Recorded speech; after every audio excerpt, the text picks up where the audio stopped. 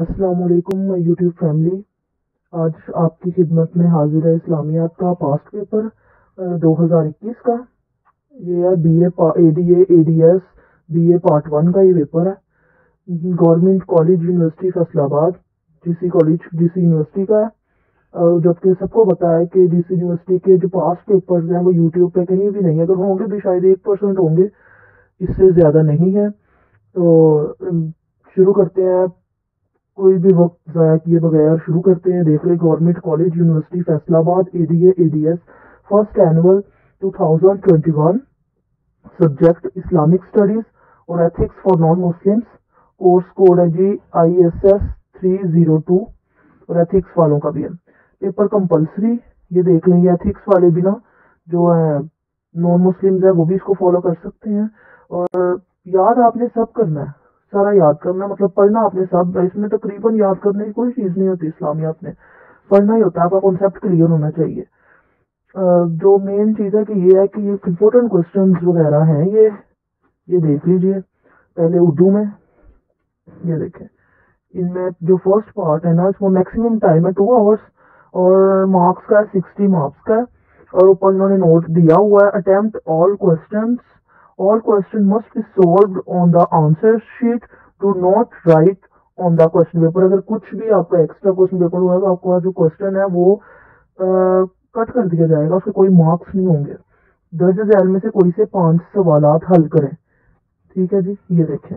हुसन नीयत पर अरबी में हदीस और उसका तर्जुमा लिखें। हुसन नीयत पर जो अरबी में हदीस है, हदीस लिखनी है और उसका तर्जुमा लिखना है। सिर्फ़ तर्जुमा नहीं लिखना हदीस लिखनी है और उसका तर्जमा लिखना है, फिर नंबर मिलेंगे। जो क्वेश्चन है, एक हर क्वेश्चन जो उनसे है ना, वो दो नंबरों का है। दस नंबरों का सवाल है, पाँच लिखने हैं। साधक और अमीन ताजर का अंजाम किन लोगों के साथ होगा? साधक और अमीन ताजर का अंजाम किन लोगों के साथ होगा? ये सबको पता अम्बिया शोधा के साथ होगा। और तीसरा नंबर पे है, बुहतान से क्या मुराद है? और उसके बाद आयत लारई बफी हदल मुत्ताकीन। इस आयत में कुरान मजीद की कौन सी दो खसूसियात बयान की गई हैं? उसके बाद है, छठा क्वेश्चन है अजवाजुल नबी के इम्तियाजात। अजवाजुल नबी सल्लल्लाहु अलैहि वसल्लम के जो इम्तियाजात हैं, उनकी जोजा के जो इम्तियाजात हैं, तीन, चार जितने भी हैं, लेकिन उनमें से दो बताएँ। उसके बाद है जी, क्यामत की कोई से दो निशानियाँ लिखे। कोई से दो क्यामत की ना निशानियाँ लिखनी है उसके बाद सवाल नंबर दो है। दर्जा जैल कुरानी आयात में से दो का, जैल कुरानी आयात में से दो का तर्जमा और तशरी करें। पहली तो ये है, अलीफ है, आमन रसूल ही सुर बकरा की आयत है ये। आमन रसूल ही बिमाउन जिला अब ये आयत आप देख लें, अच्छी तरह देख लें। इसको टिक कर ले अपने पास।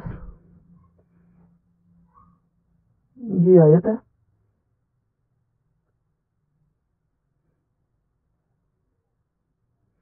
ये देख लीजिए, ये आयत है।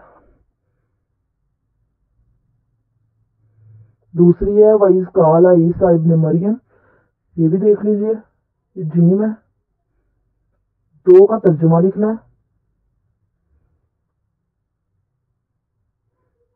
ठीक है, ये देखें, ये अलीफ है। उसके बाद जो बे है, वो ये है, या हयू या यू नबी। ये देखें। ये दूसरी है। तीसरी ये है, जिम और इसका आला ईसा इब्न मरियम। ये रसूल की। और तीसरी है, ये देखना डाल वाइन ताइफतानी।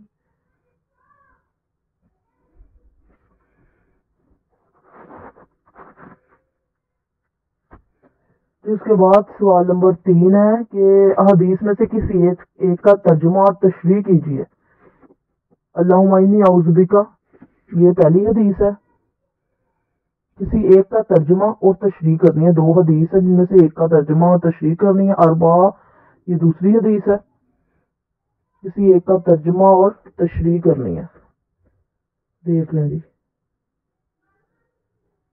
उसके बाद आ जाते हैं सवालात पे। जो सवाल तफसीला सवाल है, सवाल नंबर चार है, हिजरत मदीना के इसबाब तहरीर करें या खुतबा हिजरतुलविदा के अहम नकात तहरीर करें। ये दो सवाल है, इनमें से एक करना है या है। और दस नंबरों का ये सवाल है। पांचवा सवाल है, जी मगरबी तहजीब की खसूसियात पर नोट लिखे या तहजीबों का तसादम के नज़रिया का तनकीदी जायजा पेश करें। दस नंबरों का ये सवाल है। अच्छी तरह नोट कर लें ऊपर पेपर